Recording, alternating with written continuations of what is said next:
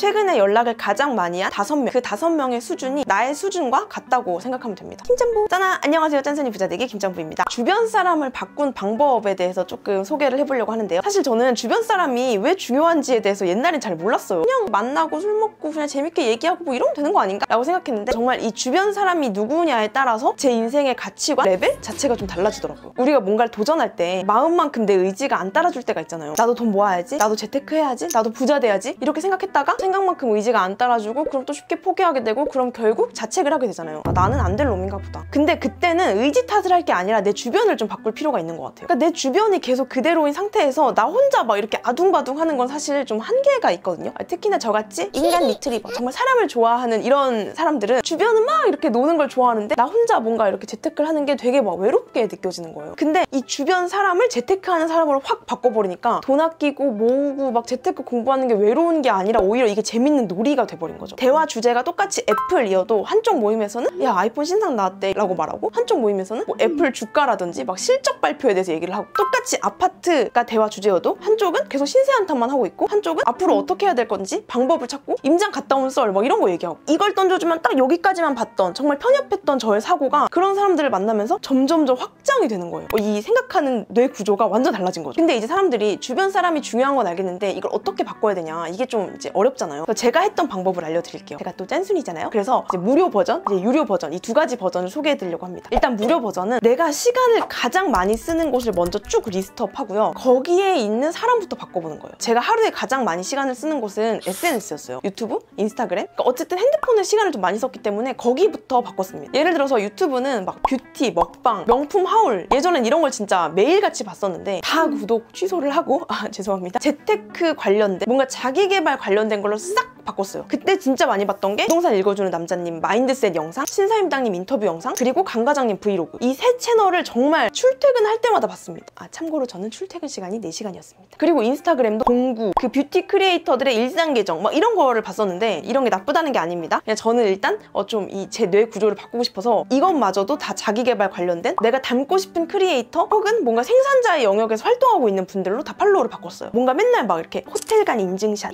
힙한 카페 막 이런 인증샷만 보다가 책 읽은 인증샷, 임장 간 인증샷 이런 걸 보니까 아 다들 열심히 사는구나 이런 이제 자극을 받게 되는 거죠. 제가 옛날에 알던 세상의 재미는 뭐 좋은 카페 가고 좋은 호텔 가고 막 이런 거였는데 아 이런 것도 재밌을 수 있는 거구나 나름대로 힙할 수 있구나 이제 이런 걸 좀 깨닫게 된 거죠. 그 다음 유료 버전은 강의를 듣거나 유료 임장 모임을 나갔습니다. 임장이 이제 부동산 보러 가는 거거든요. 근데 그거를 혼자 갈 생각하면 너무 막 아, 심장이 튀어나올 것 같은 거예요. 부동산 문을 못 열겠는 거예요. 한 달에 딱 얼마씩 내고 매주 주말마다 임장을 가는 모임이 있었어요. 그래서 거기를 등록해서 주말마다 뭐 천안이니 포항이니 원주 막 다 다녔던 것 같아요. 근데 그때도 딱 느낀 게 다 제 또래들 많아봤자 막 30대 중반인데 주말마다 노는 게 아니라 같이 이렇게 막 임장 다니는 거예요. 어떤 분은 고시원에서 월세로 살고 있는데 어, 이미 자기 명의 아파트가 3개나 있었어요. 그래서 저는 되게 이 청춘을 바라보는 시각도 좀 달라진 거예요. 어, 내가 배운 그 욜로족 시절의 청춘은 뭔가 막 당장 나가 놀고 막 이런 건데 아니 이분들이 막, 아 저는 고시원 월세 살고 있어요 뭐 이렇게 하는 게 아니라 되게 당당하게 어 괜찮아요. 그럼 살만해요. 라고 말을 하는 걸 보고 아 젊은 나이에도 저렇게 할 수 있구나. 그러니까 저는 뭔가 주택이 몇 개씩 있는 게 진짜 막 4, 50 대 건물주? 이런 분들만 가능하다고 생각했는데 아 이 젊은 나이에도 가능한 거구나 완전 이게 이제 깨인 거죠 근데 사실 이런 임장 모임도 요즘에는 유료가 아니라 어, 카페에서 친해지면은 어, 저희 같이 수원 임장 가실래요? 뭐 저희 같이 천안 임장 가실래요? 이렇게 그런 모임이 되는 걸로 알고 있어요. 뭐 오픈 채팅방 같은 데서 찾을 수도 있고 할 수 있는 방법은 너무 많은 것. 내가 찾기만 하면 되는 거. 유료 강의나 유료 임장 모임을 다니면서 느낀 게 인스타그램, 유튜브, 뭐 네이버 카페 이런 데서 글과 사진으로 보는 에너지도 있지만 실제로 만나서 그 사람의 이야기를 듣는 게 이 에너지의 거의 10배 정도? 그런 데는 돈 쓰는 걸 전혀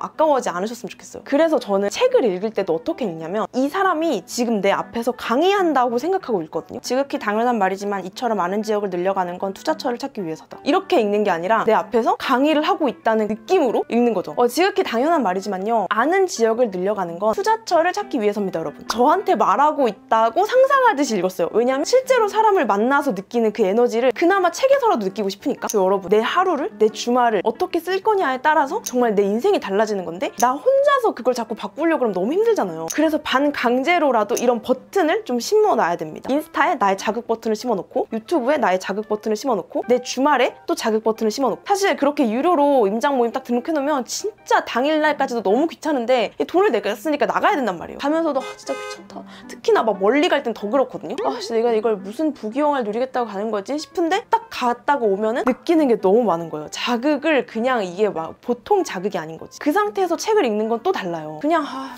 읽어야지. 아 부동산 씨, 아 모르겠다 이러고 읽는 거랑 와, 진짜 나도 저렇게 된다 막 이러면서 현장에 있듯이 공부하듯 읽는 책은 진짜 다르거든요. 그래서 여러분 여러분의 하루에 가장 시간을 많이 차지하고 있는 그 주변을 바꾸시는 걸 추천드립니다. 제가 만약에 주변을 바꾸지 않았다면 이렇게 빨리 소득과 자산을 올리지 못했을 것 같아요. 그래서 여러분도 뭐 유튜브, 인스타, 네이버 카페 그리고 나의 주말까지 내 수준, 내 레벨을 올릴 수 있는 사람들로 바꿔보면 어떨까 싶습니다. 예를 들면 김짬보. 그럼 오늘도 여러분의 행복한 재테크, 행복한 짠테크를 진심으로 응원할게요. 짠러뷰 김짬보.